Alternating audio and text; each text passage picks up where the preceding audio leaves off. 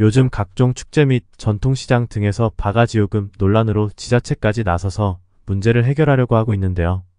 최근 소래포구는 그동안 꾸준히 바가지 요금 논란과 지나친 호객행위로 자정대회까지 하며 신뢰 회복을 하려고 했지만 의미 없는 그들만의 자정대회였었죠.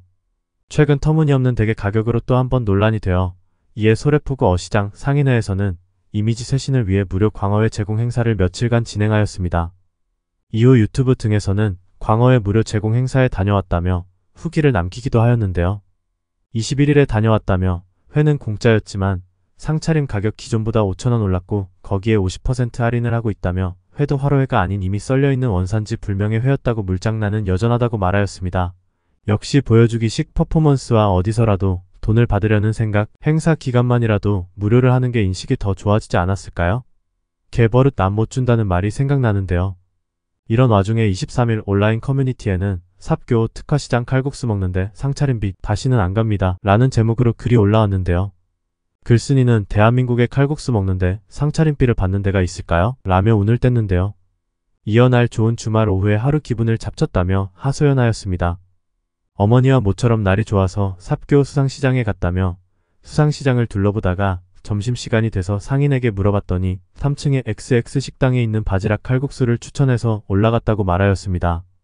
이어 글쓴이는 3층의 엘리베이터를 타고 안으로 들어가서 자리를 잡았는데 식당 직원이 처음부터 칼국수만 먹을 거냐고 퉁명스럽게 물어보았다고 합니다.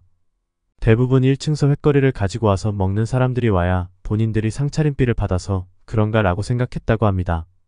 글쓴이는 기분이 나빴지만 그냥 좋은 게 좋은 거라고 생각하며 먹고 계산을 어머니가 하시는데 상차림비 2천원을 추가로 아무 말 없이 결제하였다고 합니다.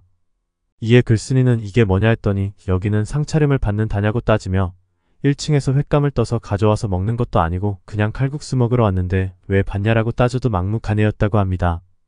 그러면서 글쓴이는 열받고 어처구니가 없었다고 말하였습니다. 이어 요즘 같은 세상에 배째라 장사하고 이렇게 하는 사람들이 관광지구에서 버젓이 장사하는 게 말이 됩니까? 라며 삽교 진짜 갈 곳이 못 된다고 당시 상황을 전했습니다. 이에 네티즌들은 이야 저렇게 장사해서 부자 되면 뭐 하겠습니까?